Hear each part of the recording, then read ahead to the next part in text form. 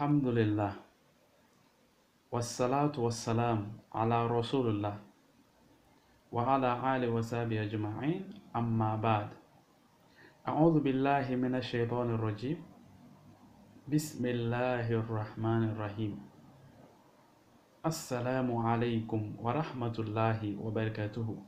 May peace, mercy, and blessings of Allah subhanahu wa ta'ala be on all of you. The topic of today's talk is Quran, the impact on humanity.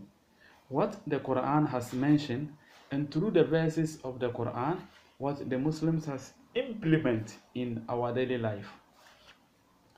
It is a very long series that we are doing and a very important series that we are doing on a platform.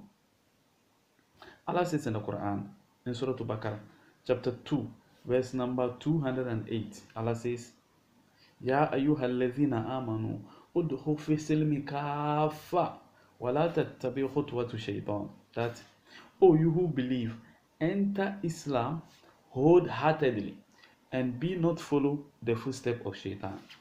This verse of the Quran has given us an important message that when you want to do anything, when we want to perform salah, when we want to do ibadah, we have to give out 100% of whatever ability we can. It is very important. We have to follow every aspect of Islam from our heart, sincerity and devotion.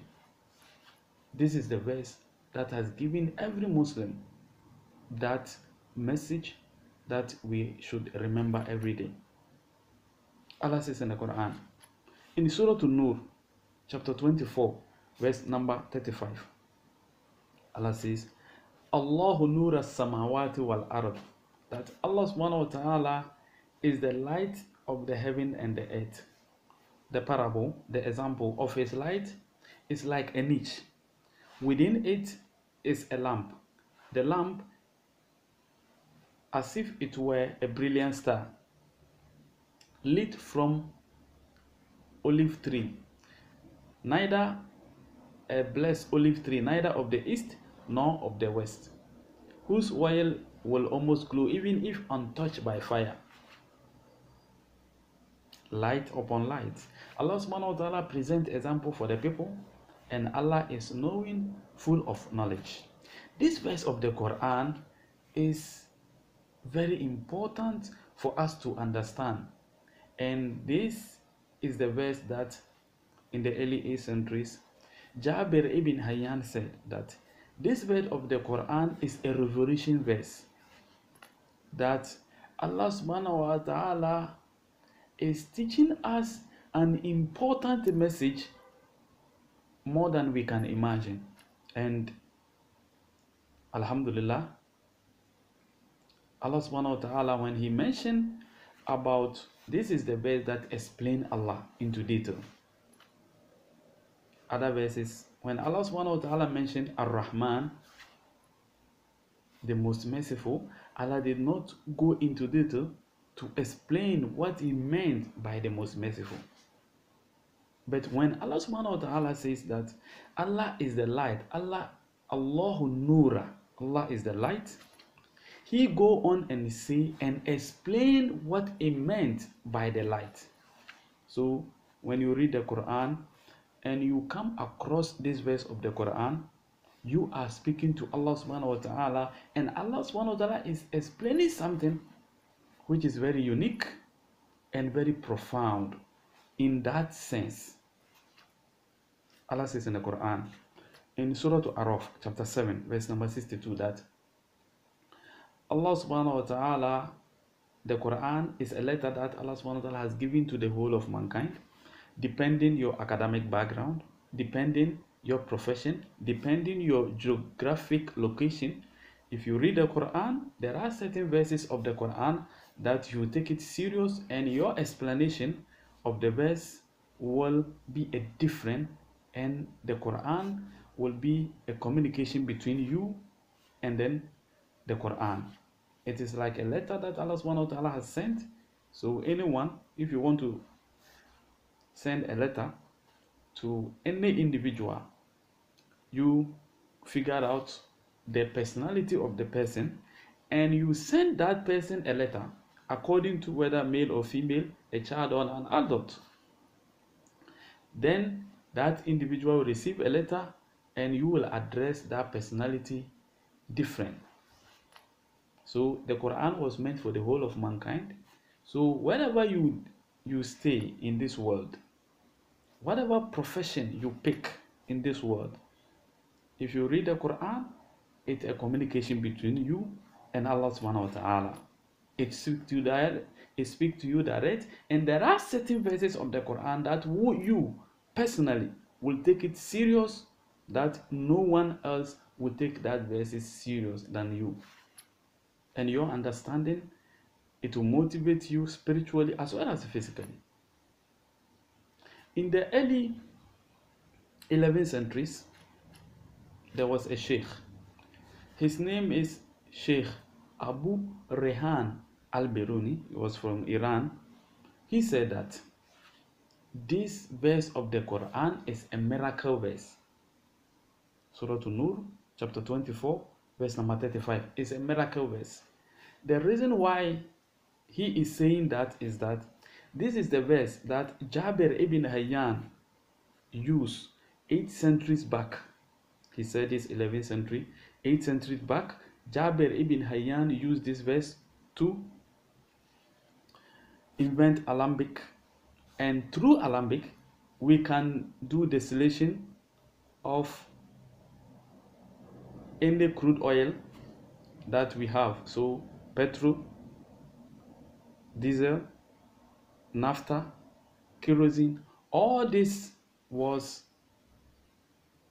a discovery by Jabir ibn Hayyan and later Muhammad Zakariya ar-Razi in the early 9th centuries also used the same verse of the Quran where Allah subhanahu wa ta'ala explained into detail about himself what the light that he meant. Muhammad Zakariya ar-Razi in the early 9th centuries also used the same verse to invent naphtha lamp, kerosene lamp, the lamp that we use today because of electricity. Even today, the light bulb that we use is exactly explanation of Surah An-Nur, chapter 24, verse number 35, which is amazing. When Allah subhanahu wa ta'ala mentioned a verse in 1400 years ago, where they use a camp fire, a camp light that they use in the society, and Allah subhanahu wa ta'ala explaining about Himself, and we find that later generation in the first centuries, one century after the Prophet, peace be upon him, passed away, Jabir ibn Hayyan used this verse to change the scenario in the society. To use it, to use alembic method to distill this kerosene and naphtha. Alhamdulillah. We thank Allah subhanahu wa ta'ala for that great name. And Muhammad Zakariya ar-Razi also used the same verse where Allah subhanahu wa ta'ala mentioned about whose oil will almost glow even if untouched by fire to invent this lamp that we use. Alhamdulillah. So Sheikh Abu Rehan al-Biruni in the 11th century from Iran, he was very wondering about this verse. He was very shocked about this verse of the Quran and he want to understand it word by word, letter by letter. So anytime he approach the verse to read the Quran, he will on the light because he will be in the closed room. So he will on the light. So every day he come, he on the light, he study about the verse and he want to explain he want to understand it. He will finish and he will off the light. Through that he also give an a strange interpretation. And he said that he also when Allah subhanahu wa ta'ala mentioned about light, he want to study more about light and he give us the speed of light. So the speed of light that we go to school to study. If you go to school, university and colleges and we want to study about science and they teach us about the speed of a light. The speed of a light. It was an interpretation of the Quran by Sheikh Abu Rehan al Biruni in the early 11th centuries in Iran. Alhamdulillah. We thank Allah subhanahu wa ta'ala for this ni'mah, for this blessing in our society, where the Quran give a verse, Allah subhanahu wa ta'ala mention about the verse, and we have a spiritual benefit as well as a physical benefit. Alhamdulillah. Quran, the impact on humanity, what the Quran has mentioned, and through the verses of the Quran, what the Muslims has implement in our daily life. It is a very long series that we are doing, and a very important series that we are doing on the platform Islamic Youth Foundation on YouTube. Subscribe to the YouTube channel so that you help us. At the same time, you share the message to others and you also like it if you like it it's good it also help a lot so you like you share you subscribe to the youtube channel inshallah and also if you go to instagram foundation islamic youth the spellings all together and you can also call us whatsapp us our number is plus 39 35 11 91 6675 subhanaka allahumma وبحمدك ونشهد أن لا إله إلا أنت ونستغفرك وأتوب إليه my name is Abdul Malik. Assalamu alaikum wa rahmatullahi wa barakatuh.